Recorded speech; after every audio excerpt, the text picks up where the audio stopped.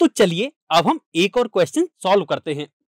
इस क्वेश्चन में एक हमें लाइन गिवन है, जो कि है four x plus seven y plus five is equal to zero और हमें इस लाइन का पॉइंट वन कॉमा टू से डिस्टेंस फाइंड करना है along the line two x minus y is equal to zero तो चलिए अब हम इसका सॉल्यूशन डिस्कस करते हैं।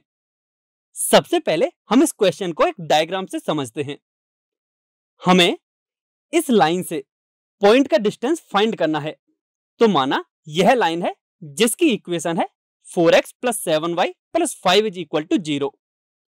And since हमें पॉइंट वन कोमा टू से इसकी डिस्टेंस फाइंड करनी है तो माना यह पॉइंट है वन कोमा टू, जिसको हमने ए नाम दिया है।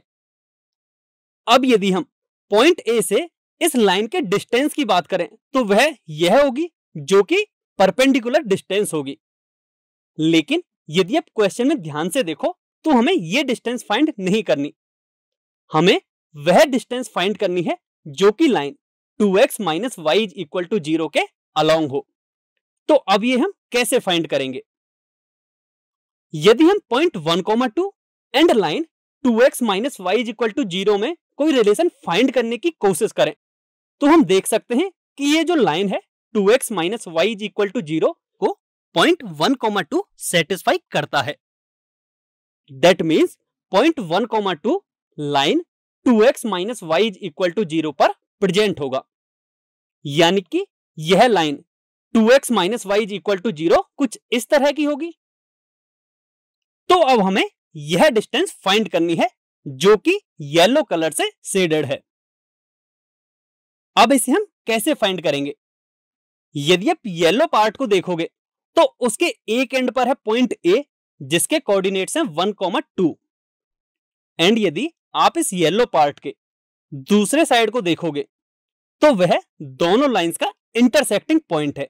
माना वह है पॉइंट बी तो अब यदि हमें पॉइंट बी के कोऑर्डिनेट्स मिल जाएँ, तो हम येलो पार्ट की लेंथ आसानी से फाइंड कर सकते हैं by using the distance formula तो चलिए, अब हम पॉइंट बी के कोऑर्डिनेट्स फाइंड करने की कोशिश करते हैं। सिंस जो पॉइंट बी है, वह दोनों लाइंस का इंटरसेक्टिंग पॉइंट है तो ये पहली लाइन है, जिसको हमने इक्वेशन वन नाम दिया है, और ये सेकंड लाइन है, जिसको हमने इक्वेशन नंबर टू नाम दिया है। अब यदि हम इन दोनों इक्वेशंस को सॉल्व करें तो जो हमें कोऑर्डिनेट्स मिलेंगे, या फिर जो एक्स एंड वाई की वैल्यूज़ मिलेगी, वही हमारे पॉइंट बी के कोऑर्डिनेट्स होंगे।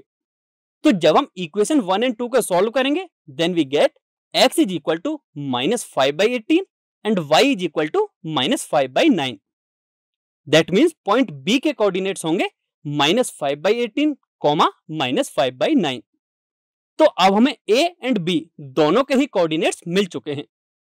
तो अब हम डिस्टेंस फॉर्मूला का यूज़ करके ए एंड बी के बीच की डिस्टेंस आसानी से फाइंड कर सकते हैं, जो कि इसके इक्वल होगी। अब हम इसे आसानी से सिंप्लीफाई कर सकते हैं। जब हम इसे आगे सिंप्लीफाई करेंगे तो हमें ए एंड बी के बीच की जो डिस्टेंस है, वह मिलेगी 23 three into root five upon eighteen that means जो हमारी रिक्वायर्ड डिस्टेंस है, वह 23 three into root five upon eighteen के इक्वल है।